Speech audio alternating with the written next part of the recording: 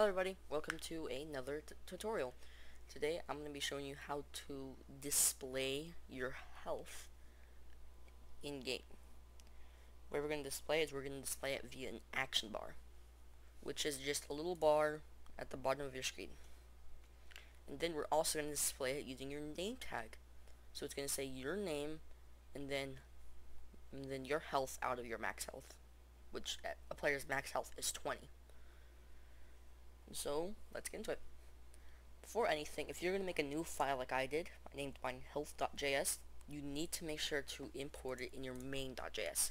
Import dot slash health.js. Alright? The reason it's good to import files is because, you know, files can start looking like a mess like this. You do not want it to look like a mess. Anyways, back to health. So what we're going to do is so we're going to we're going to get their health every single tick and display it with an action bar. So world.events.tick.subscribe data. The thing about a tick event is that the data here is kind of useless. Just current tick and and delta time.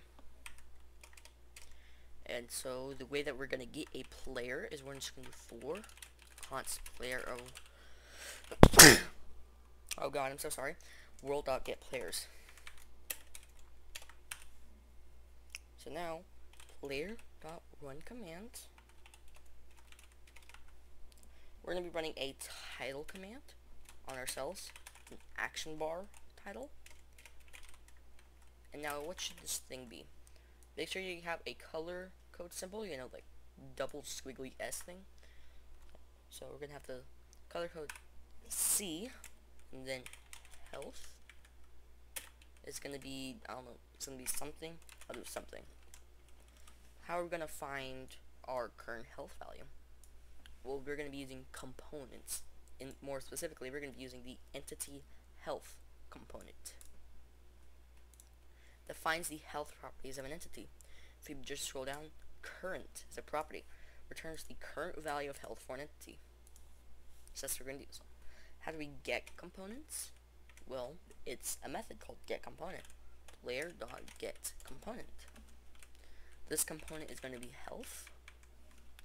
And what are we going to do with this health component? Well, we're going to get the current. If you look right here, it only says ID. Don't worry, that's not a bug, you didn't do anything wrong.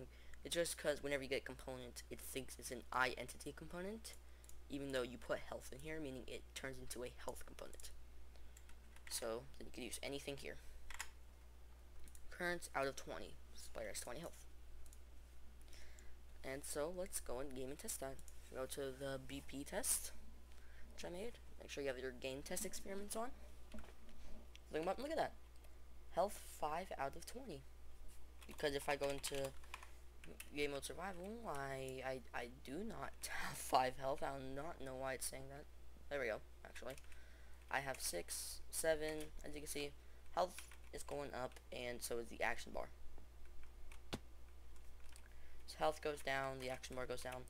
So your action bar is corresponding to the health. This, honestly, isn't that useful. It's cool, but not that useful. What would be useful, however, is if your health was in your name tag. No, it says iBlaze, the blaze, and then 4 out of 20. And so let's do that. Way we're going to do that is we're going to do player dot name tag. We're just going to set the name tag. As you can see right here, name tag is not read-only. It's just name tag, optional. So we're going to do is we're going to set this to, oop, set this to player dot name space boom. I'm gonna make sure it's nice light red out of 20. So your name tag is going to be your name, a light red health out of 20. So it should say 4 out of 20 for me. So if I were to leave and rejoin, just make sure you save it with Control S. If you don't know how to save it, then I don't know how you've been watching these tutorials.